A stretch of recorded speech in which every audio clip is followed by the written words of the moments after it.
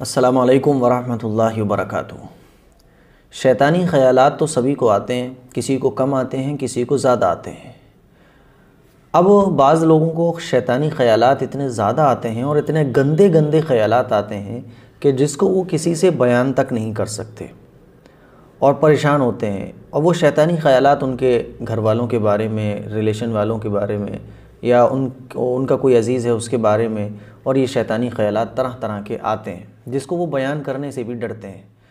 اور پریشان ہوتے ہیں کہ اس سے کہیں ان پر عذاب تو نہیں ہوگا، کوئی مواخذہ تو نہیں ہوگا۔ تو میں اس بات کو سب سے پہلے صاف کر دینا چاہتا ہوں کہ جو بھی خیالات ہمارے مائنڈ میں آتے ہیں اور بلا وجہ کے آتے ہیں، ہم نہ سوچتے ہیں، ہم تو بلکہ اس ان خیالات کو لانا بھی نہیں چاہتے، پھر بھی وہ آتے ہیں۔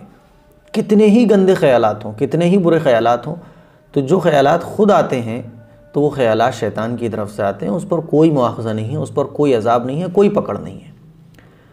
اور نارمل خیال آ جانا، یہ کچھ برا بھی نہیں ہے، یہ تو ایک فطری طور پر آ جاتے ہیں، اور کیونکہ شیطان سب کے ساتھ ہے۔ لیکن جن بھائیوں اور جن بہنوں کچھ خیالات بہت زیادہ آتے ہیں، گندے گندے خیالات، اپنوں کے بارے میں ہی برے برے خیالات، تو ایسے لوگ پریشان ہو جاتے ہیں۔ تو ایک بات یاد رکھیے گا، اس سے کوئی ایمان پر یا آپ کے نیک اعمال پر کوئی فرق نہیں پڑے گا۔ حضرت علی رضی اللہ تعالیٰ عنہ سے کسی نے پوچھا کہ حضرت شیطانی خیالات اور وساوس بہت زیادہ برے آتے ہیں، حتیٰ کہ اتنے برے آتے ہیں کہ میں ان کو زبان پر بھی نہیں لا سکتا۔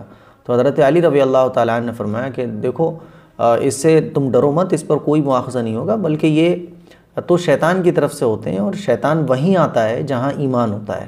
چور وہیں جاتا ہے جہاں مال ہوتا ہے۔ تو اسی لیے تمہارے ایمان پر کوئی فرق نہیں پڑے گا، بلکہ یہ تو اس بات کی علامت ہے کہ تمہارے پاس ایمان ہے، تمہارے اعمال ہیں۔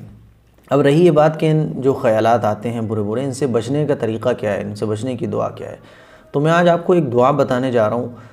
جب بھی خیالات، جن بھائیوں اور بہنوں کو خیالات بہت زیادہ آتے ہیں، پورے دن آتے ہی رہتے ہیں اور وہ پریشان رہتے ہیں، تو وہ اس آیت کو کثرت کے ساتھ پڑھیں۔ کثرت کے ساتھ پڑھنے سے مراد یہ کہ جب بھی خیالات آئے تو اس کا ورد جاری رکھیں اپنی زبان پر۔ جب بھی خیالات آئیں۔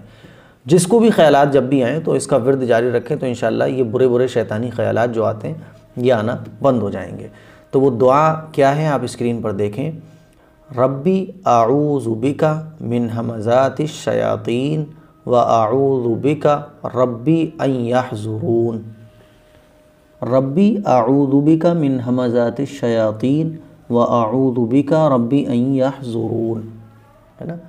اس دعا کا اہتمام کریں تو انشاءاللہ شیطانی خیالات جن کو بہت زیادہ آتے ہیں، ان کی حفاظت انشاءاللہ ثم انشاءاللہ ہوگی۔ اور ہم بھی دعا کریں گے اللہ ہمارے ان بھائیوں اور بہنوں کے جن کو خیالات بہت زیادہ آتے ہیں، برے برے، اللہ ان کی حفاظت فرمائے۔ تو یہ شیطانی خیالات ہیں، اس دعا کا اہتمام کریں، انشاءاللہ سب خیالات آنا ختم ہو جائیں گے۔ السلام علیکم ورحمۃ اللہ وبرکاتہ۔